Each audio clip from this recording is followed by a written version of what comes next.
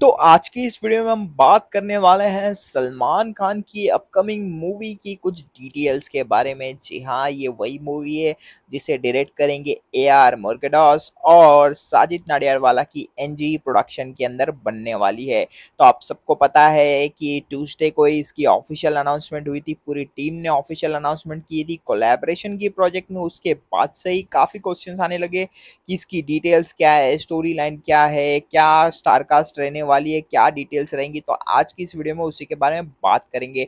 तो सबसे पहली बात जो इसमें सलमान खान का लुक रहने वाला है, वो one of the best look दिखने वाला है, एकदम डैशिंग अंदाज में दिखाई देने वाले हैं, जो सलमान खान का प्रेजेंटेशन रहने वाला है इस मूवी में। अब मूवी की बात करें तो ये एक हाई एंड एक्शन मूवी रहने वाली है, जहाँ पे आप लोगों को कुछ रॉ कैरेक्टर्स भी दिखने वाले हैं। रॉ मतलब एकदम ही जिस तरीके से हम पहले देखते थे मूवीज़ में, उस अंदाज में रहने वाला है।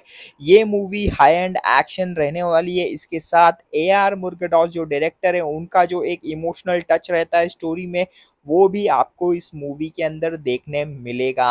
अब बात करें इसकी वैल्यू की तो एनजी की मोस्ट एम्बिशियस प्रोजेक्ट रहने वाली है। ये अब तक की सबसे उनकी हाई बजट मूवी रहने वाली है, जहाँ पे हर तरीके से हर चीज़ में इन्वॉल्वमेंट रहने वाला है। अब बात करें इसकी स्टारकास्ट की हीरोइन की तो बता दें मुकेश छाबरिया जो है वो कास्टिंग डायरेक्टर हैं इस मूवी के तो वो कास्टिंग का काम अब चालू करेंगे। बाकी जो कैरेक्टर्स है, उनको लेके मोस्ट प्रोबेबली हीरोइन ये मूवी में आ सकती है। कोई साउथ की एक्ट्रेस एंड स्टार कास्ट आपको ऑन द पॉइंट मिलने वाली है। रिलीज़ डेट आप सबको पता ही है अनाउंस हुई है ईद ट्वेंटी की शूटिंग की बात करें तो मई से इसकी शूटिंग स्टार्ट होने वाली है, जो कि प्री प्रोडक्शन वर्क रहेगा। अब बात करें इस मूवी की तो A R Murugadoss as of now उनकी एक साउथ की मूवी है, उसको कर रहे हैं, जिसका सेकेंड शेड्यूल चालू हो गया है मोस्ट प्रोबेबली वो रैप अप हो जाएगी, उसके बाद ये प्रोजेक्ट पे काम करेंगे। तो वीडियो को लाइक कीजिए चैनल को सब्सक्राइब कीजिए थैंक